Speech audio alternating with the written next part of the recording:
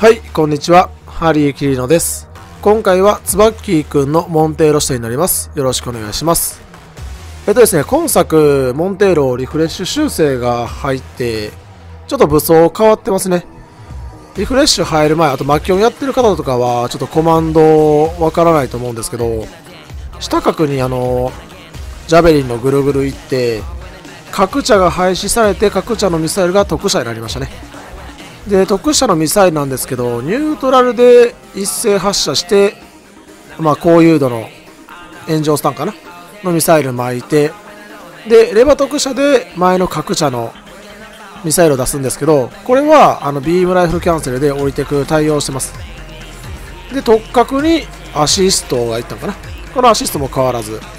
それでは第1試合見てみましょう。多分変更点はこれぐらいなんで。ああとあともう1個ありましたサブがね、ちょっと変わって、サブの、サブ今2発あるんですけど、1発目から射撃発生すると、あの、2発目がなんか新規モーションが発生するようになりました。それでは見ていきましょう。相手はイフリートシュナイドとハイニューですね。で、ここでタイマン見合ってるので、下角で迎撃しようとするが、これ、下角かなり判定強いんですけど、イフリートシュナイドの横得ってそれよりも判定強いんですね。僕敵勝ったと思ったんですけどここは有利取れてるんでダブロにしてこれですね。前サブからの新しい射撃亜生の新規モーションで2発目打ってダウン取ってと。ここはハイニューの強振に追われてるんでしっかり逃げて何もせずに逃げてこれはちょっと厳しいかな。だって覚醒中なので。でサーチガでアメキャンスルが取られたんですけどまあファンネルやから安いかな、まあ、安いんかな。まあ、とりあえずここは下がっときましょう。でも相方覚醒落ちしちゃって、でもこっちコスト的には有利なのと、向こう言うてもうミリとミリなんで、近づいてくる敵か近い敵っすね。見て削りたいところですね。ハイには多分先落ちしたいんで、このまま前に来るでしょう。うん、強いな、あのマシンが。あれでもなんか弱くなってるらしいけど、9月の全盛期よりは。で、ここは近くにシュナイドいるんで、行くがちゃんとハイニが助けに来て、ここでしっかり着地に横サブですね。この横サブもな、めちゃくちゃ強いと思うんですけどね。でもあまりこのキャラやっぱ増えないんで、まあ、体力も少ないし、まあ、これ使うのは他のキャラでいいやっていうのがあるんですけど、でも一択してる人はね、しっかりちゃんと強み生かして戦ってるんで。でここは、取られるが相手覚醒を吐かすことに成功と。これを覚醒落ちせずに逃げたいですね。しっかり逃げるけど、まあ、これは無理やな。横徳から排入の強振ファンネルと、その他もろもろ飛んできたんで、罪ですね、罪。後ろ角してたらワンチャン横徳に勝てんねやったら、ダウン属性なんで、ファンネルも引っ込んでたし、ワンチャンあったかぐらいか。でもまだ覚醒中なので、あ、強振中か。で逃げるが、2人に囲まれてるんで、アメキャンで着地を取られると。ここは相手どうやろ相手に、あれですね、横サブの射撃発生2発目はあんな感じですね。縦の斬撃ですね。でダメージ取れたんで、ここでシュナイドを落として、相方がバウンドところ隠さず決めるぞ。これ、落ちるか？落ちずと。でも、石栗とシュナイドを焦って助けに来るんで、ここは冷静にシュナイドを見て、見なしていきましょう。で、ここ、特角に対して、下角またするが、まあ、これは発生負けで、前サブ射撃焦で、しっかりダウン取りましたね。で、たまたま、この覚醒中のアシストが、あのー、リフレクターの突撃なんですけど、それが排入に流れて、うまいこと拾って勝利と。1試合目はこんな感じですね。このキャラ中距離で飛ばす球かなり強いんで、流行ってもいいと思うんすけど、なかなか見ないですよね。では、第2試合行きましょう。第2試合は、対面は、トールギス3とルップスですね。この組み合わせはルプス前出しのトールギスがそれを援護して弾幕巻いてくる感じだね。相方はルシファーとなってます。それでは見ていきましょう。こっちもまあ1号2戦なんで1号は攻めたいんですけどルシファー。向こうも結構攻めてくるキャラなんで最初は中距離かな、まあ、ルシファー攻めるって言っても今作中距離のアシスト強いんで。それを回して戦う感じですね。こっちも怠慢になってるんで、自分から無理して手を出さずにしっかり開けますね。この距離でやっぱ横サブと。近距離ではあんまり横サブ振らんすね。まあ、当たらないんで。ほんまに至近距離やったらその無知判定あるんですけど基本は中距離で使うイメージですねでここはダウン取られ相方が合流しに来て覚醒しますねで覚醒してるんで助けに来るルプスを見てたんですけどここで相方の覚醒に引かれそのせいでなんかヒットストップで繋がらなかった。まあでもチャージ当たったしいいでしょう。でこれはうまいこと対面を両方減らせてるんで流れ的にはいい感じですね。ここで相方が先落ちてもモンテーロしっかり350残ってるんで問題なしです。で近距離だとあんな感じで無知判定がありますと。ここは角茶しっかりガードしてすげえな。偉いわ。俺やと当たってる確で。で覚醒に対して下覚醒が負けてここもスパーマなんですがしっかり覚醒技でスパーマにはスパーマをぶつけて、ね、倒しましたね。でこうタイマンになったんで上取って前サブシャイキャスですが当たらずこれ届いてサブキャンから特化カースですね。こうなると有利なんでルプス見た方がいいんかな？そんなギス多分出てこんので。こっちミリミリやし両方落ちれるんで。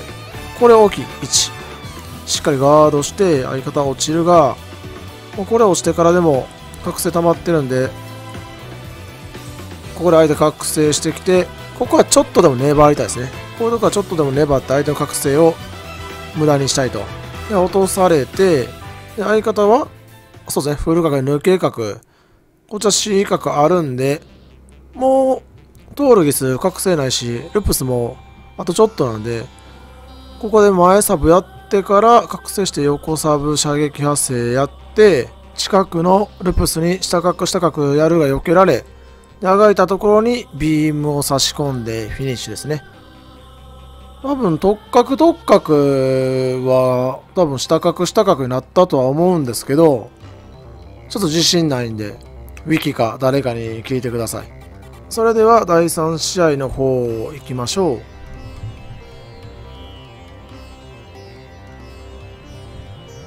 はい第3試合ですね。第3試合はデスティニーとフリーダム。相方はバウンドドッグですね。相手はうんスロパチ見てねやからあれやね。ジャスティス弟。最近めっちゃガンダムしてんすよね。なんか GGGP も出るみたいなんで。割と関西勢を全員応援してるんでね誰かしら結果残してくれると嬉しいんですが。では見ていきましょう。最初は運命が近づいてくるので運命に横サブしてこのね横サブステップ横サブ一発目ガードしてからすぐ動こうとすると2発目当たるんですよね。その次にあのガード硬直あるからガードできなくて。でここは2人で固まりつつ相手を寄せつけん形で動き回ってるんで。で横サバ当たって。これ大きいですね。両方減らせてて有利なんですけどここで一番怖いのはどちらかが運命の残像を食らって次置き攻めされてまた食らうっていうのが怖いのでここは得意距離の中距離で相手を寄せつけない形で立ち回りましょう。残像来たんでしっかり何もせず完成上昇でかわしましたね。でおよう反応したなあいつ。でここもガードして覚醒ゲージ貯めてやり方がゲロビで取ってくれましたね。ここは運命が覚醒きそうなんでちょっと警戒したいところ。で横サブアメリカン当たって俺はさすがに覚醒来ないんで530があるんでゆっくり得意距離で横サブとアシストあとミサイル回しながら立ち回りたいですね。しっかり避けてここは相方159やけど多分覚醒しないですね。ここで覚醒してもいいけどその後落ちたら運命のフル角がバウンドドッグに行ってバウンドドッグ覚醒ない状態だとモンテーロも助けられないんでここはひたすら中距離と。残像で来るがそうですね。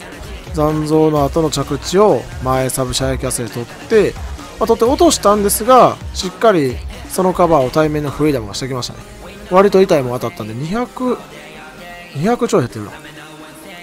でここもまだ減りたくないんでしばらく中距離して運命やっぱり中距離何もできないですよね。遠距離も昔みたいにあのゲロビが曲がらないんで。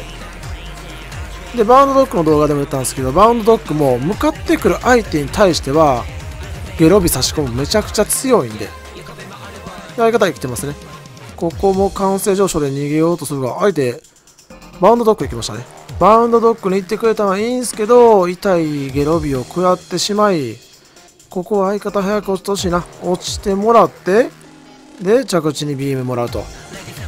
これででも相手もフリーでも落ちたんででここは後ろからめくってここは食らう前に吐くかな？吐いてこれは食らいたくないですね520で半角したらもう一回たまるんで。そっちを見て覚醒中のアシスト出すがおお2発目強いですね。新規モーションの射撃汗2発目。すげえ強いな。ああいう当たり方するがやっぱ上下にやつはですね。で覚醒してきたんでちょっとここは逃げたいけどまあ食らうな。食らってこれは熱波ですね。相手覚醒中なんで。でしっかりチャージを起き上がりやってチャージやっぱ起き上がり強いですよね。あの後ろにノックバックするんで距離取れるんで。ここで相方が運命にゲロビを当ててフィニッシュですね。モンテーロ視点はここまでになります。ご視聴ありがとうございます。よかったら高評価とチャンネル登録よろしくお願いします。